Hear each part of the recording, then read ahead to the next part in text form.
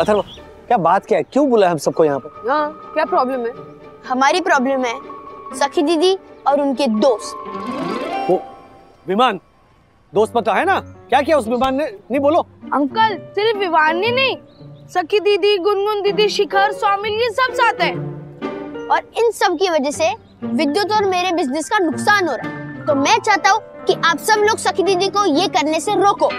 सखी ने किया क्या है? आंटी सखी दीदी अपने सारे दोस्तों के साथ हर सोसाइटी के हर विंग में जाकर पतंग खरीदने को और पतंग उड़ाने को मना कर रही है। और तो और मेगाफोन लेके आसपास के सारी सोसाइटीज में जाके चिल्ला रही है।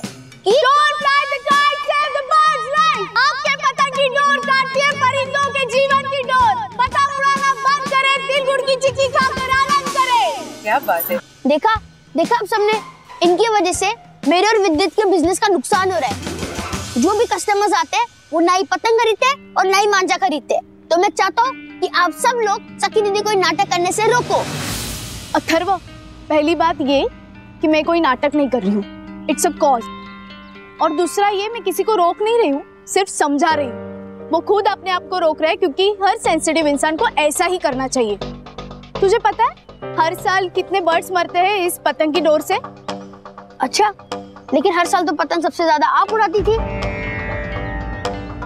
लेकिन तब मैंने अपने मांझे से कटा हुआ कबूतर नहीं देखा था। मुझे नहीं पता था तब कि मैं जो कर रही थी वो कितना गलत है। और हर इंसान अपनी गलती कभी भी सुधार सकता है समझा? ए, ए, सखी गुनगुन तुम्हारे गलत प्रचार से ना ये बच्चों का एवी काइट्स के शेयर का भाव गिर जाएगा। पापा हम कोई गलत प्रचार नहीं कर रहे। पतंग से सच में बर्ड्स की जान जाती है। और टू व्हीलर व्हीकल वालों के गले भी कट जाते हैं। तो सखी बात यह है कि तुम्हारे इस अचानक पतंग न उड़ाने के फैसले से एंड प्लस बाकी के लोगों को भी समझाने की वजह से ना अथर्व का नुकसान तो हो रहा है। मतलब डैडी मैं गलत हूँ? नहीं नहीं मैं ये नहीं कह रहा हूँ कि तुम गलत हो। तो क्या मैं गलत हूँ? अरे मैं ऐसा नहीं कह रहा हूँ। तुम दोनों पूरी तरह गलत नहीं हो लेकिन हमें ये समझना होगा। डैडी मुझे कुछ समझना नहीं है।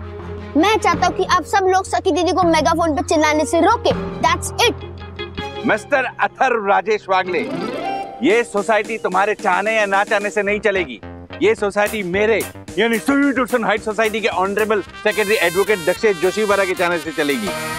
और मैं ये आदेश देता हूँ कि सोई डुसन हाइट सोसाइटी के प्रांगण में इस साल पतंगबाजी पर प्रतिबंध है। और सोई डुसन हाइट सोसाइटी का ऑनरेबल सेक्रेटरी होने के नाते मैं अथर्व विद्युत को एवी काइट्स का बिज़नेस बंद करने का नोटिस देता हूँ। अच्छा ऐसे कैसे बंद होगा? मम्मी आप सखी दीदी से कहो कि मैं ये इनजस्टिस सहने नहीं वाला।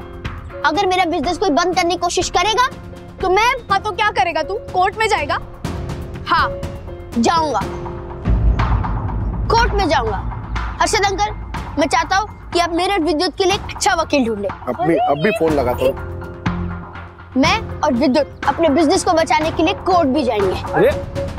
यस ब्रो हम सुप्रीम कोर्ट तक जाएँगे वो रात को भी खुला रहता है। पॉइंट ओ ओ ओ क्या ये कोर्ट और सुप्रीम कोर्ट लगा रखा है तुम दोनों ने? हाँ मज़ाक समझा क्या? अरे एक मिनट राजू। क्या कह रहे हो? हाँ? इसमें मज़ाक की बात क्या है? देखो अगर सखी अपना पक्ष रख सकती है तो अथर्वा का पक्ष भी हमें सुनना चाहिए। अगर सुप्रीम कोर्ट में मामला नहीं जा सकता तो साई दर्शन के कोर्ट में तो आ ही सकता है। लगाते नहीं यहाँ सोसाइटी में कोर्ट? फिर दोनों बच्चे अपना पक्ष रखेंगे तो जो भी फैसला होगा, देखा जाएगा। राधिका, तुमने बिल्कुल सही कहा। देखो, हमारे संविधान में भी कहा है कि हर एक को अपना व्यापार करने का और व्यापार को बचाने का पूरा हक होता है। तो फिर हमारे बाल व्यापारी को अपने बिज़नेस को बचाने का पूरा हक होना चाहिए। तो भाई अब इसका फैसला साई दर्शन हाई सोसाइटी के कोर्ट में ही होगा और कल ही होगा। बराबर।